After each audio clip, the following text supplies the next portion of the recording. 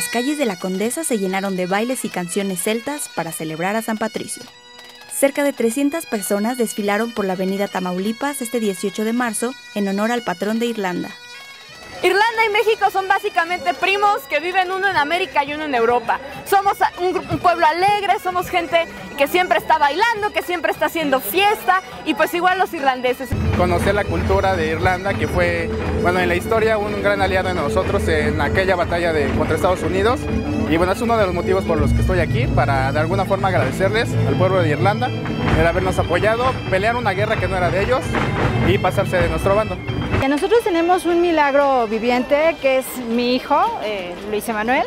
Nosotros prometimos algo a San Patricio y cada año, desde hace ya casi seis años, estamos festejándolo.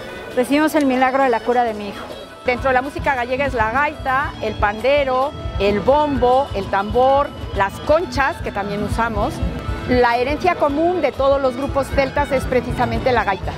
El desfile, que se celebraba por segundo año, concluyó con un festival de música en el Parque España.